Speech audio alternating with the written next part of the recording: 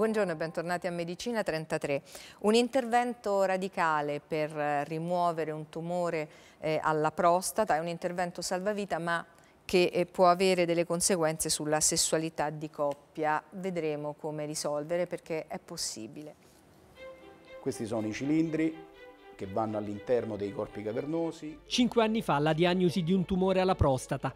Così Fabio si sottopone ad un intervento di prostatectomia radicale che gli salva la vita ma lascia un altro problema. Ho avuto un altro oh, grande problema eh, che era più, eh, non avevo più la, la, la funzione erettile.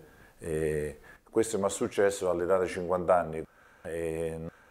mi sono trovato in una situazione eh, disagiata e non sapevo che cosa fare. Ho provato tutto e di più, le compresse, le punture, però alla fine non risolvevano il grosso problema che ho io. Talvolta la terapia a base di farmaci nelle persone con difficoltà erettile non ha alcun effetto. Sono dei farmaci che hanno una grande efficacia terapeutica, però molti pazienti non rispondono oppure altri pazienti hanno degli effetti collaterali post assunzione del farmaco molto importanti. I pazienti che hanno effettuato invece una chirurgia oncologica 90 volte su 100 non rispondono neanche a questi farmaci.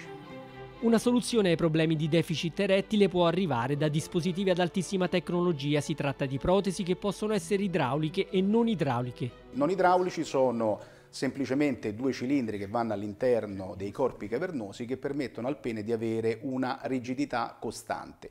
Il device idraulico è un device che si gonfia e che si sgonfia manualmente e quindi simula il meccanismo fisiologico dell'erezione. Quello che noi facciamo è un intervento mini-invasivo, una piccola incisione non sullo scroto ma sulla pancia del paziente. Riusciamo in un tempo rapidissimo, circa 15 minuti, ad impiantare tutto il device. I due cilindri vanno all'interno dei corpi cavernosi, si gonfiano e si sgonfiano, c'è poi un meccanismo che è un meccanismo attivatore, una piccola pallina che va all'interno della borsa scrotale e un serbatoio riempito con soluzione fisiologica che si mette nella pancia.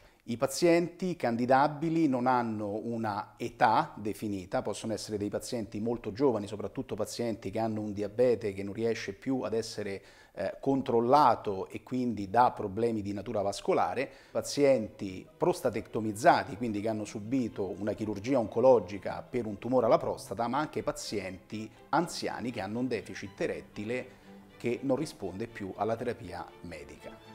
Chirurgia che però non è riconosciuta dai LEA, i livelli essenziali di assistenza. Le strutture pubbliche, alcune strutture la offrono, con numeri molto limitati, ma la maggior parte delle, delle strutture non danno la possibilità all'uomo di effettuare questa chirurgia.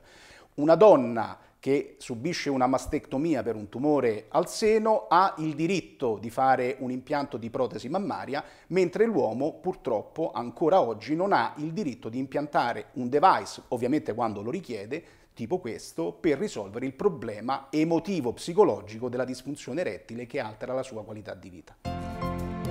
Dopo l'intervento alla prostata per Fabio non è stata semplice, la forza per reagire è arrivata soprattutto dalla moglie. Dall'inizio c'è stato, stato, il momento proprio della, della, della, depressione, poi lui si era isolato, non voleva parlare. La donna diciamo che è supportata diversamente, invece magari l'uomo è visto ancora come un tabù cioè non, deve, non, se ne parla, non se ne parla anche a livello, ma anche col medico stesso.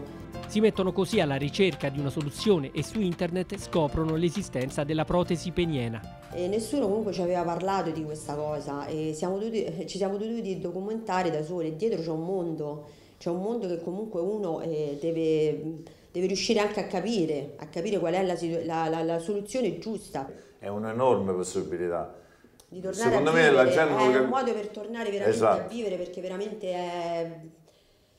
Per, per capirla ci devi passare, triste, come diceva quello. Triste, quindi... perché magari uno ne parla così dal di fuori, sembra però poi trovando, trovandosi dentro non è, non, è, non è, una bella cosa. Posso dire adesso, dopo, dopo tutta questa tragedia che, che mi è passata, sono ritornato ad avere una vita di coppia normale che, come avevo prima delle, della, della malattia.